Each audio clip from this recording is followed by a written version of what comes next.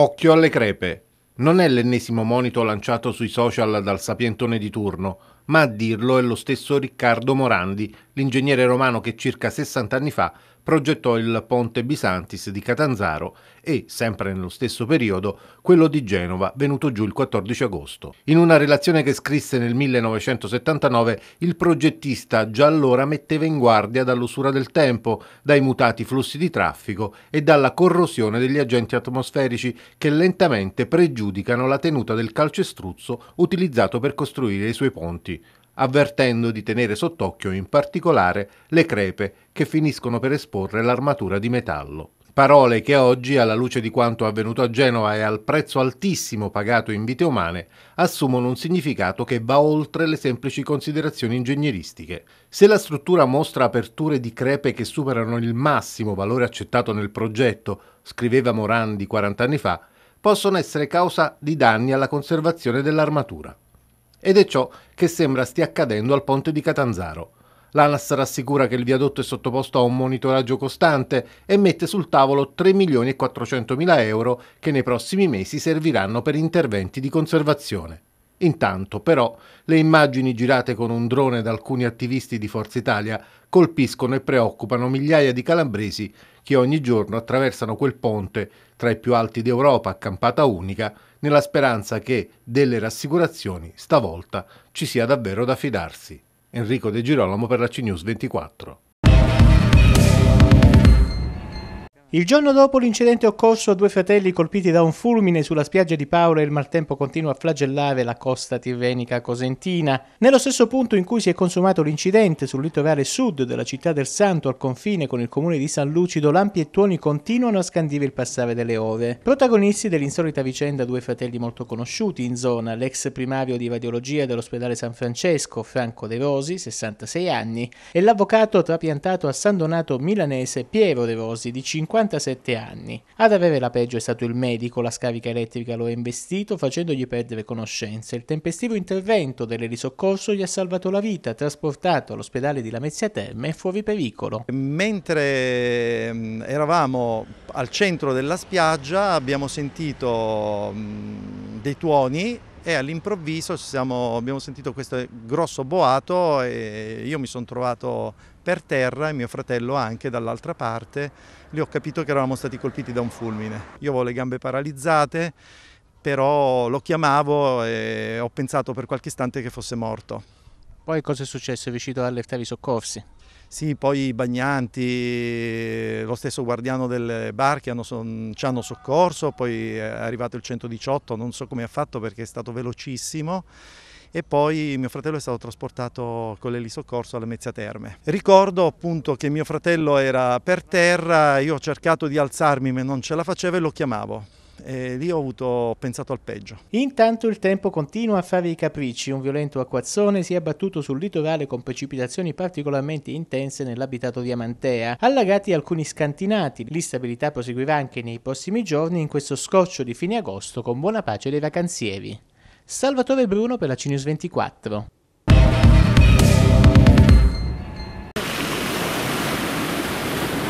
65 metri di spiaggia erosi dal mare in poco più di mezzo secolo. Erano gli anni 60, quando a ridosso della costa di Calopezzati, lungo il medio-alto litorale ionico, iniziava a fiorire l'area residenziale dove centinaia di villeggianti stabili, soprattutto provenienti dalle aree interne del Cosentino, trascorrevano le loro lunghe ferie. Ma oggi quella bella e ampia spiaggia, incontaminata e sabbiosa, ricca di arbusti, che un tempo divideva il mare dalle case, non esiste più e le onde rischiano di inghiottire quanto è rimasto in piedi, mentre quei pochi coraggiosi che ancora resistono tornano a chiedere un intervento urgente e risolutivo alle istituzioni comunali e regionali. Diciamo che si sono persi tutti questi metri di spiaggia e nello stesso tempo tutti gli anni si sono persi senza fare nulla. Poi voglio dire, il fatto che manchi la spiaggia, e non solo qui, ma su tutto il litorale calopezzatese, salvo la piazzetta dove ce n'è un po' di più, è ovvio che questo depaupera sia chi ha sui turisti la fonte di maggior reddito, sia chi ovviamente, come è il caso di specie, eh, viene qui a Calopezzati per passare l'estate e non può farsi il bagno perché non ha dove mettere l'ombrellone. Le istanze sono state fatte anche ufficiali per cercare di insistere un po' sull'attività che è praticamente assente delle amministrazioni che si sono succedute. Sembra che la cosa non esista, invece è all'occhio di tutti che esiste come. L'unico intervento è stato fatto apponendo queste masse di arenaria, metà anni 80, dopodiché totalmente il vuoto, il nulla. Come se, ribadisco quello che dicevo prima, nulla fosse successo e nulla sta succedendo. Eh, se noi parliamo di costi, e per quanto riguarda la manutenzione sta diventando un po' pesante, ma io vorrei ribadire eh, il concetto che noi siamo comunque stanchi eh, e arrabbiati eh, per questa situazione che non si riesce a risolvere anche se si può dire è così semplice, basta poco. Marco Le Fosse per la CNews 24. Catanzaro è tutto un caos. Le polemiche non vanno mai in vacanza e a Catanzaro nel periodo ferragostano viaggiano sui social. Qui è montato un polverone mediatico dopo l'avvio degli interventi di ripitturazione delle strisce blu. Le colate di vernice che hanno invaso il centro storico approfittando dello svuotamento estivo della città sono state immediatamente ribattezzate come anomale. Sicuramente se hanno fatto, fatto qualcosa di strano prenderanno provvedimenti. Sicuramente eh, non è un buon colpo d'occhio, no?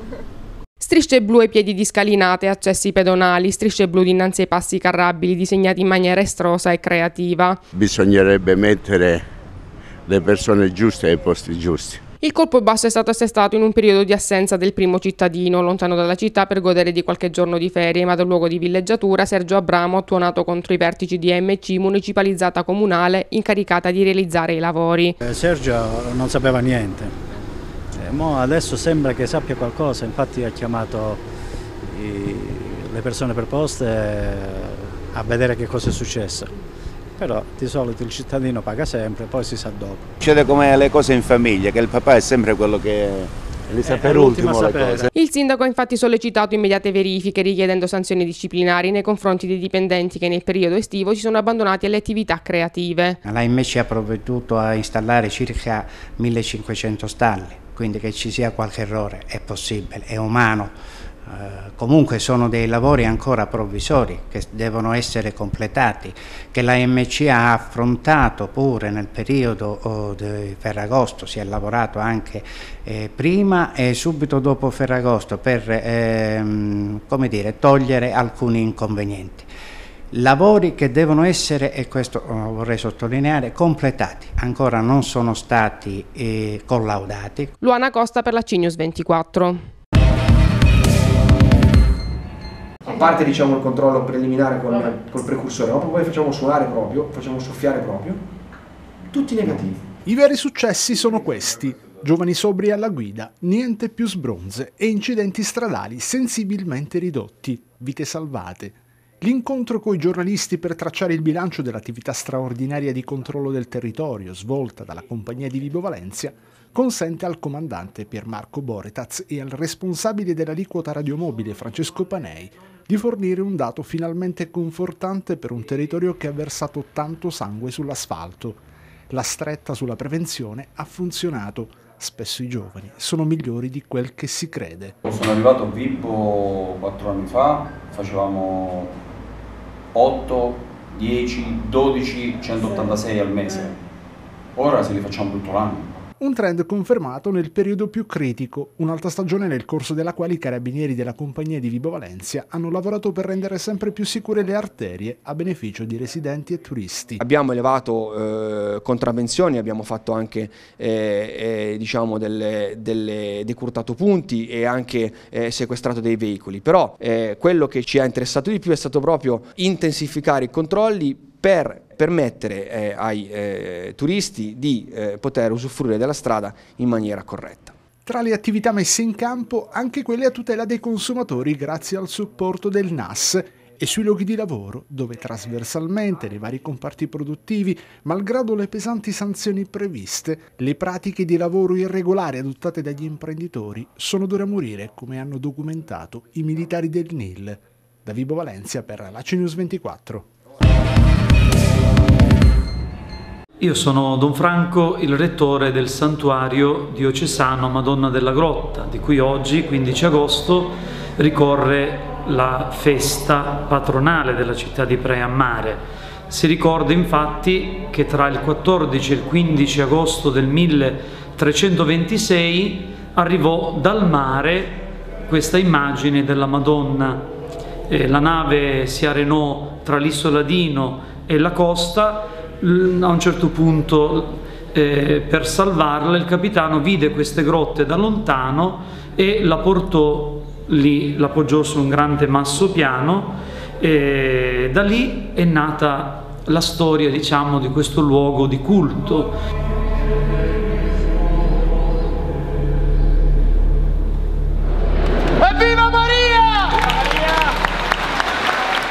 Desiderio e la volontà è quella di compiere anche la processione per mare che è attesa, è un momento molto suggestivo, molto carico di attesa perché la Madonna che è venuta dal mare ritorna sul mare per, per benedire il mare e con il mare chiaramente tutti quelli che lavorano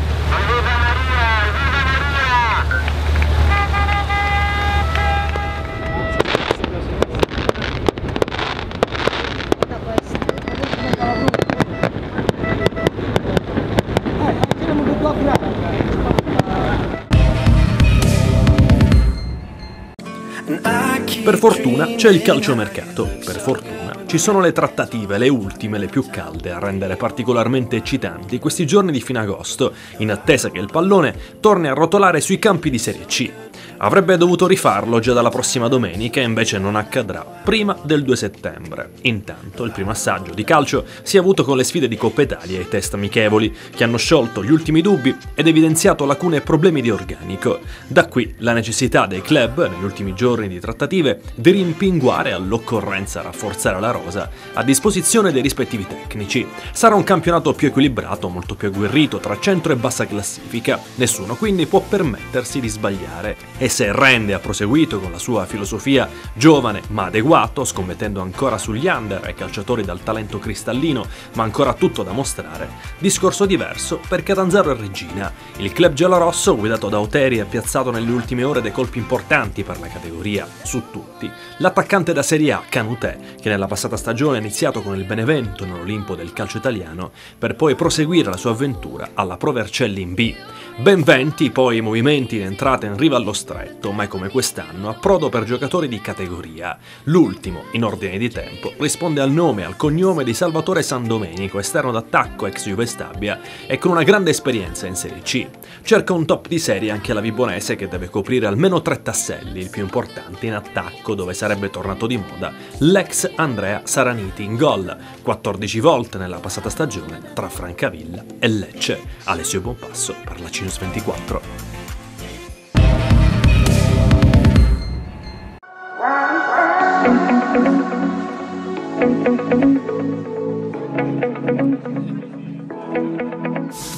Taglio i capelli se faccio di nuovo i, stessi, i, sette gol che ho fatto lo scorso anno, mi taglio i capelli a fine anno.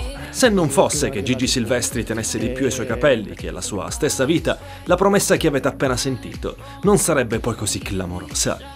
E invece il difensore goleador della Vibonese della sua folta chioma è gelosissimo ed averla messa sulla bilancia è davvero qualcosa che fa rumore nello spogliatoio rossoblu. La contropartita, tuttavia, non è poi così male. Raserebbe la sua lunga e curata capigliatura per lo stesso numero di gol realizzati lo scorso anno in D, trasportati in C. Speriamo eh, comunque di farne di più dentro casa perché lo scorso anno spesso e volentieri l'ho fatto fuori casa, pure nella, nella post-scudetto. E me lo pongo come obiettivo, ma non obiettivo primario. L'obiettivo primario è fare bene in campo e con la squadra. A fine stagione tireremo le somme, intanto c'è da partire con il piede giusto e in questo, per Silvestri, fondamentale sarà l'aiuto dei tifosi. È stata la nostra forza l'entusiasmo lo scorso anno, poi io questa è la terza annata che faccio con la maglia rosso-blu e come lo scorso anno, il primo, non l'avevo mai vista tutta quella gente comunque riempire uno stadio in trasferta o dentro casa stessa. Quindi a noi giocatori questo ci riempie di gioia perché significa che stiamo facendo qualcosa di buono e speriamo che quest'anno sia la stessa cosa. Comunque la tribuna la vedo sempre, sempre piena, la curva c'è entusiasmo con i striscioni, è una cosa importante, nuovi cori fanno sempre, è una cosa che comunque stimola tutti noi. Stimola. Alessio Bonpasso per la CNews 24.